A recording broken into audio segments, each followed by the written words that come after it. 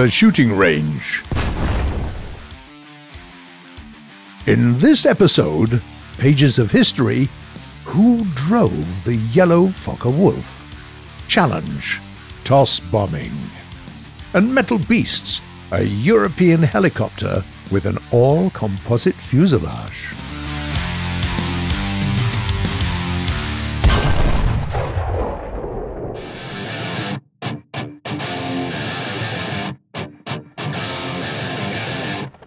Our guest today is the Eurocopter Tiger Strike helicopter located at BR 10.0.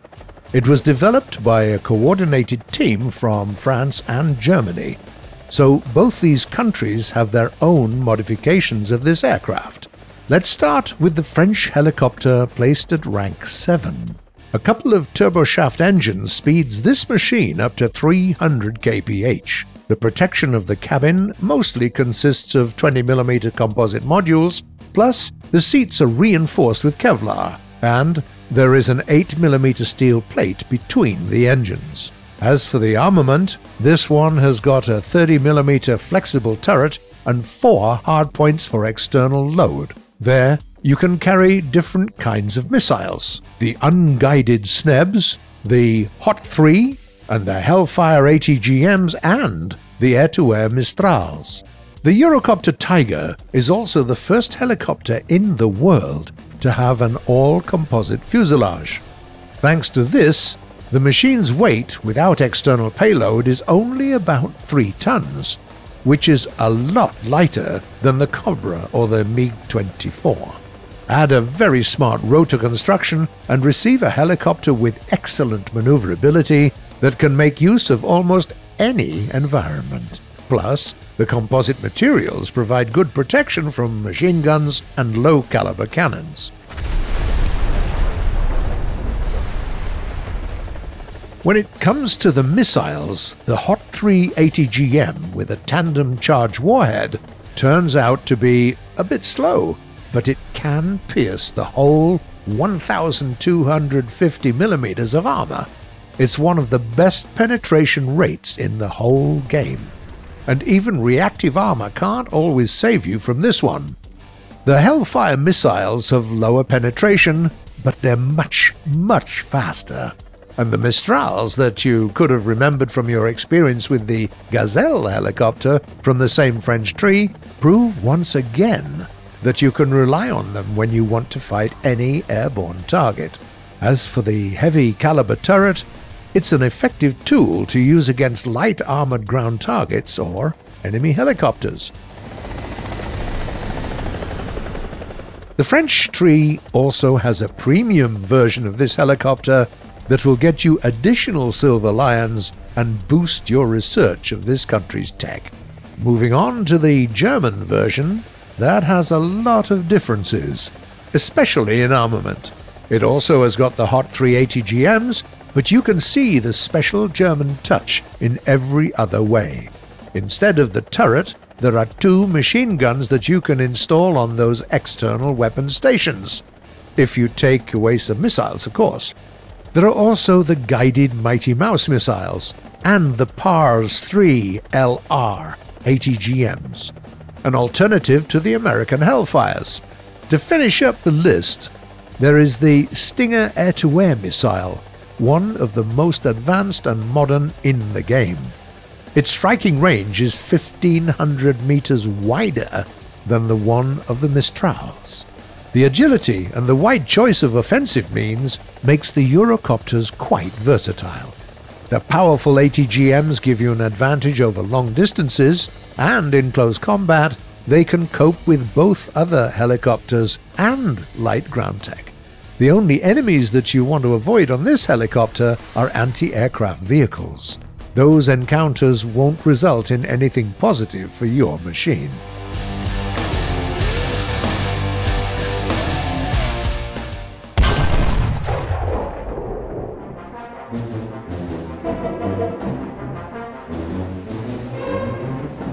The RAF were planning this ambush for a long time.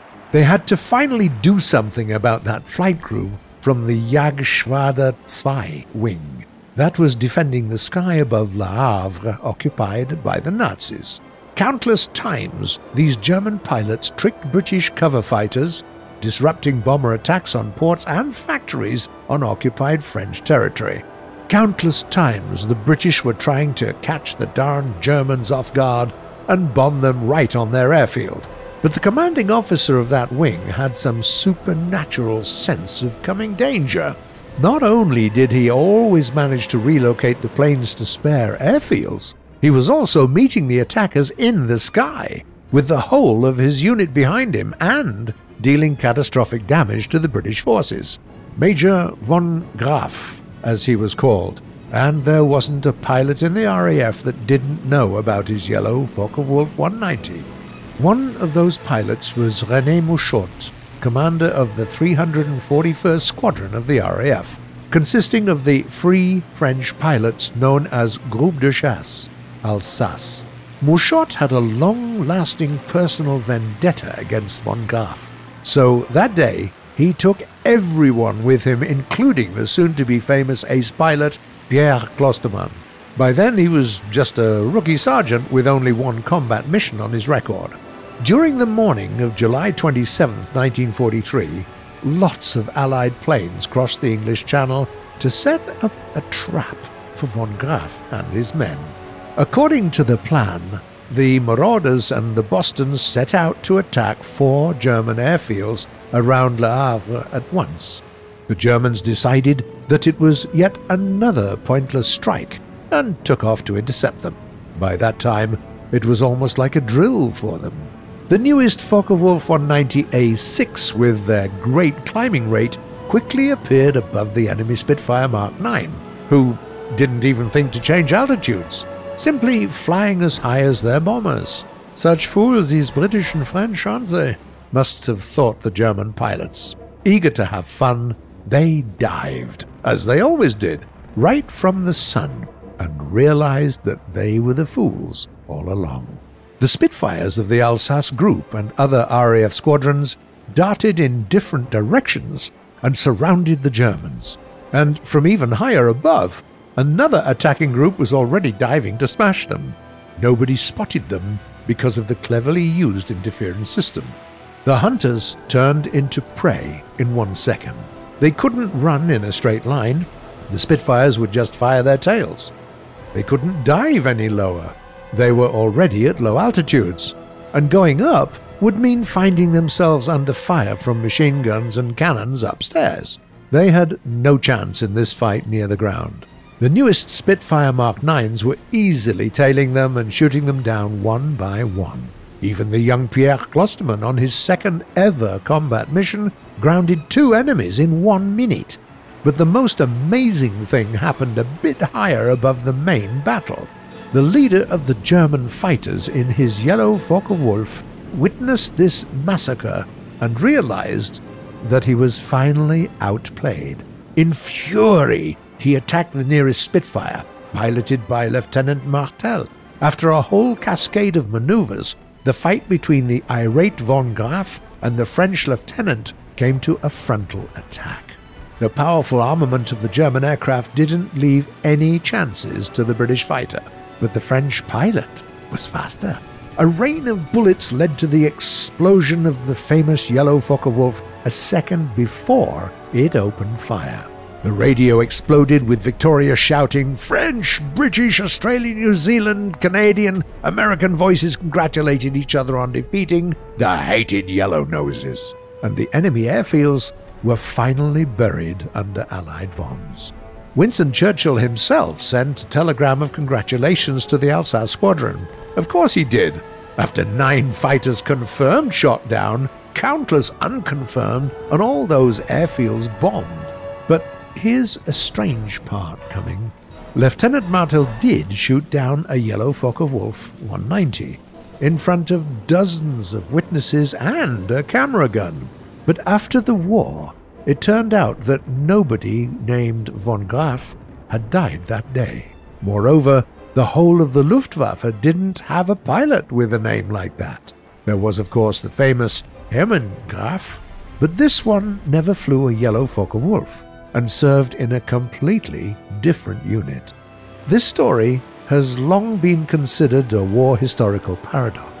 For decades, the personality of this enigmatic von Graf was a subject of studies and analysis. But till this day, nobody can answer the question who in the name of the Lord was he? British pilots remember him, but never saw his face.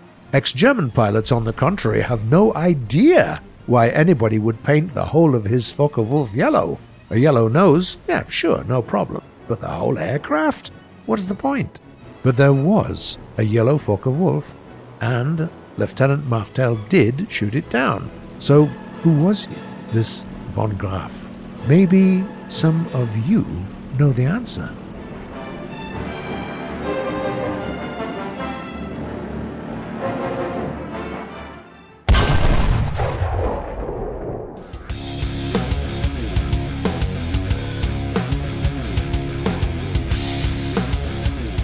Lately, those who wanted to protect their battlefield from Stike aviation received a lot of help in the form of absolute beasts with cannons, missiles, and goodness knows what else.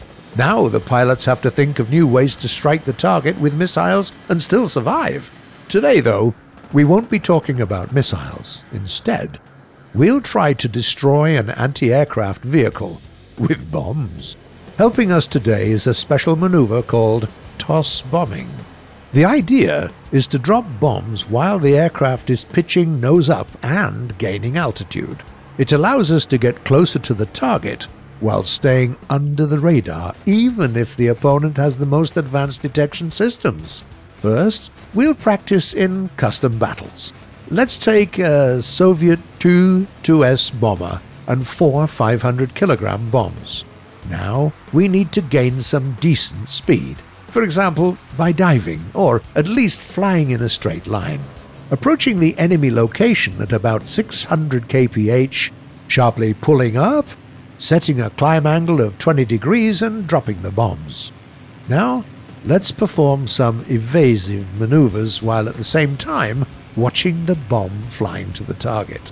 You can do this with a separate button, or just by pressing and holding the drop bomb button. Then the camera will follow the bomb on its own. And what do we see? The bomb flies almost horizontally, losing altitude bit by bit, but still doesn't quite reach the target. Well, it's a challenge section, isn't it? Nobody promised that it would be easy. We experiment with speed, distance to the target, and altitude. It takes a very long time before the bomb lands near the enemy machine. Thankfully, there's enough explosives to do the job even if you don't directly hit it. Because of the way the bombs are fixed in the hardpoints, we can only use two bombs under the wings of this exact aircraft to perform toss bombing. But this might not be enough in real battle. So we'll take a more suitable aircraft, a faster one with more uh, streamlined bombs that will have a wider effective range. Until recently, our pick would be the Super Sabre, but now we'll take the Phantom II, the menacing newcomer from the latest update.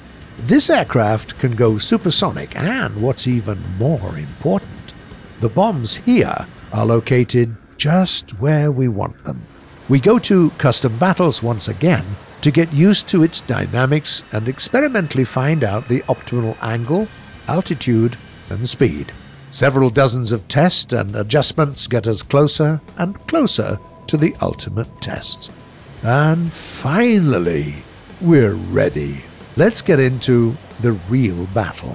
To make it more comfortable, we'll be targeting enemies at a capture point. The altitude is as low as possible so that their radar can't see us. The speed reaches Mach 1, going up, and we've overdone it with the rudder. The bombs went too far and disappeared somewhere behind the end of the map. Okay, let's try one more time. Repeat the trajectory, drop the bomb, maneuver once again, and look at the bomb camera. Four kilometers, three, two, one. It's a hit! Hurrah! We'll let this player guess where the hell did that come from and go and take a short rest. After all, we spent a lot of time trying to make this one, but the challenge is accomplished. Want to repeat it?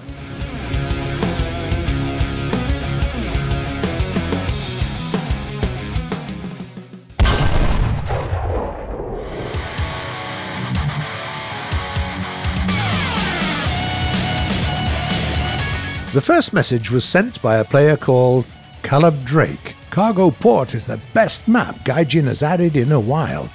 Really like it. Hi there, thanks for the comment. To you and all the others who've already checked Cargo Port out and written us about it. We're glad that you liked our work, and we'll try to keep it that way in the future. A user called Shazi Danan asks, What is the difference between indicated airspeed and speed? Hello there. The speed that you usually see on your aircraft speedometer is your speed in relation to the air, and it's measured with a pitot-static system that indicates the air pressure coming at your plane. This is the one that determines the behavior of your machine in flight, and it's called the indicated speed. And then there is the speed in relation to the ground, the true airspeed, or with some corrections, the ground airspeed. It was quite hard to measure in the early days of aviation industry, but nowadays everybody can just use GPS satellites. And that's the one we usually just call speed.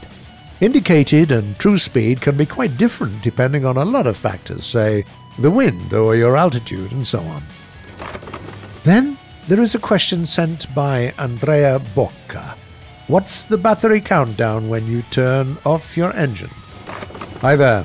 It indicates the time you have before your accumulator dies. When the engine is working, it constantly recharges the accumulator.